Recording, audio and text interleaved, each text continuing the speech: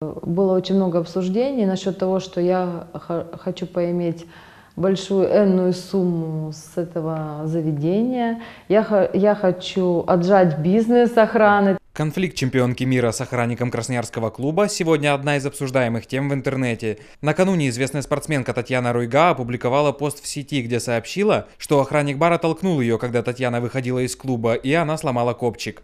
А вот это видео, его выложили сотрудники бара. Здесь видно, как гостья пытается выйти, но ее останавливает охранник. Женщина падает, и ей помогают подняться, после чего посетительница отталкивает мимо проходящую девушку и снова ложится на место падения.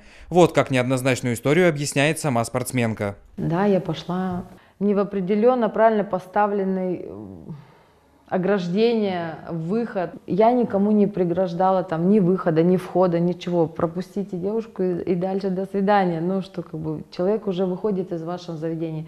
Я же противозаконного ничего не сделала. А получается, что у ребят, ну, как бы такие полномочия, что никакой человек не застрахован. В баре МОЦ на претензии известной красноярки отреагировали, правда, только в сети, на своей официальной странице в Инстаграм. Сотрудник бара в вежливой форме указал, что выход с другой стороны, на что в ответ посыпались маты и ругань.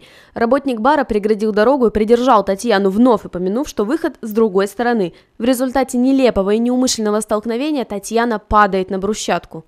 После этого сотрудники охраны лично извинились перед пострадавшей спортсменкой. Сама Татьяна отмечает, что конфликта не хотела и претензий к самому бару не имеет. Спортсменка пыталась привлечь внимание общественности к общей проблеме произвола охранников, ведь, по ее словам, такие случаи не редкость не только для нашего города. Илья Филонов, Владимир Антонов, Александр Тропин, Новости ТВК.